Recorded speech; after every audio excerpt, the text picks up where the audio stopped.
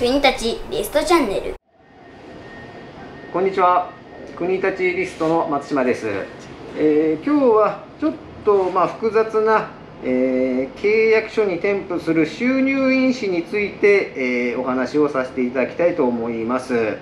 まあ、産業廃棄物といえばもう必ず、えこのような、まあ、契約書の作成が義務付けられております。で契約書というと、まあ、どうしてもこの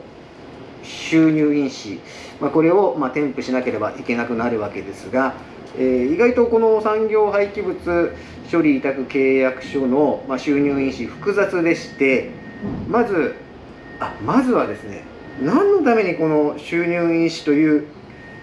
税金を支払うのかということを私考えても見たこともなかったんですけども、まあ、リストに入ってから毎日のように契約書を作って毎日のように収入印紙を貼っているのでこれは何の目的で貼るんだろうか何の目的で支払うんだろうかと、まあ、調べてみましたら、えー、まあ、契約が成立するということは、まあ、何何かしら取引が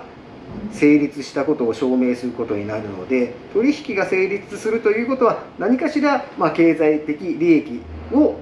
得ることを証明することになるわけですね。そうするとその経済的利益をえー、得られるというのはこの社会が安定した社会があってこそだよねということでまあ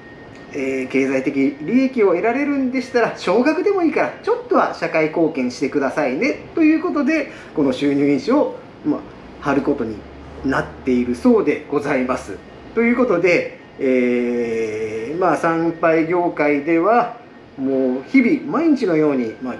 契約書を作って収入印紙を貼ることになるのですが、えー、まず収集運搬のみの契約は、えー、1号文書といいまして契約金額10万円を超えると400円にアップします。で処分のみの契約の場合は2号文書といいまして2号文書の場合は契約書の金額が100万円を超えると 400, 400円になるっていうその1号文書と2号文書で収入印紙の金額が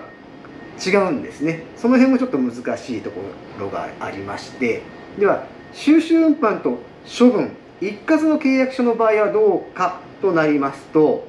どっちの金額が多いかによって1号文書か2号文書になるかが変わります。例えば、まあ、総額30万円です、えー、収集運搬費が10万円、えー、処分費が20万円。だった場合は処分費の方が多いので、まあ、2号文書になります。そういう、まあ、そのような違いがありまして意外と収入印紙の金額、えー、複雑ですので、えー、っと注意が必要となります。今ですね、まあ、電子契約というものが可能になりましてリストでは電子契約システムも導入いたしております。電子契約で、え、契約を締結すると実は収入印紙を貼る必要がないんですねなので、えー、まあ、リストとしてはあのお客様に対して、えー、電子契約での締結を、まあ、結構お勧めしておりますので是非、え今後、えリストをご利用、